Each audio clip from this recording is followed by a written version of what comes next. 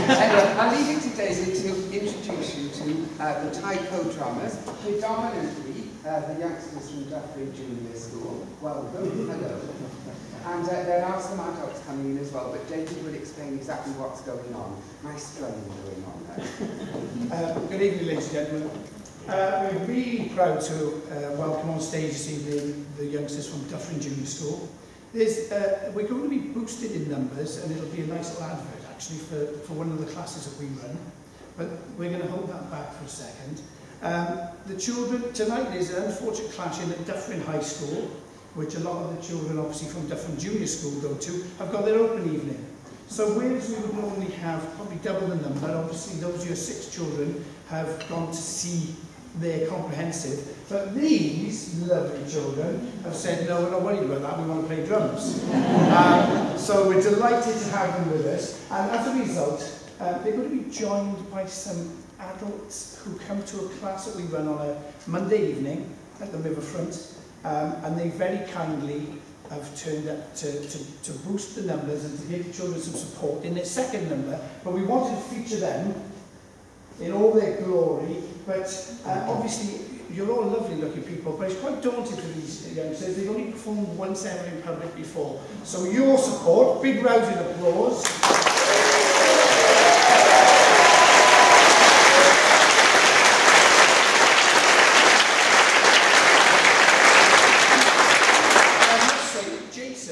Robinson, who works with me uh, when we train these children around the schools. Jason was doing samba over in Dufferin until 7 o'clock and then came whizzing over to, to work with the children. We got evacuated due to a fire alarm, so I snuck in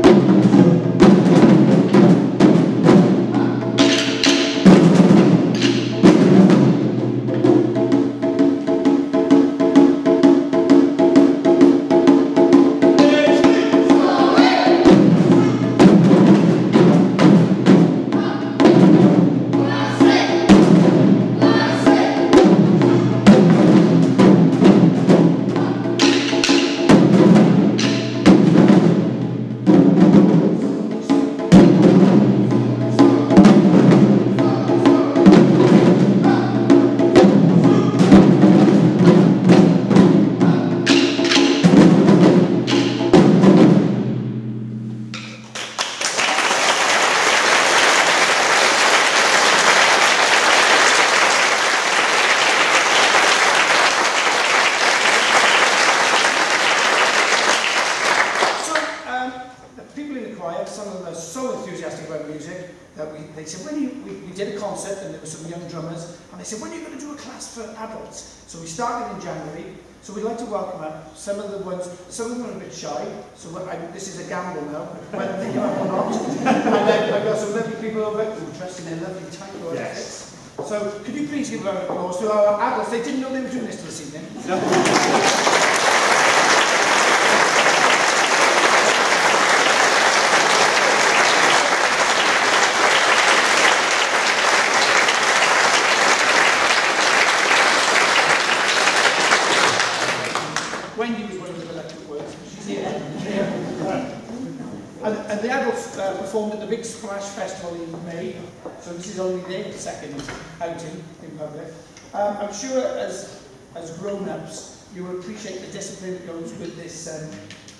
this activity, Tango, is so popular in the schools. We're everywhere. We're in about 26 schools in Newport at the moment. So if you're walking down the main street, uh, if you get a bow from some children, don't be uh, put off. It's not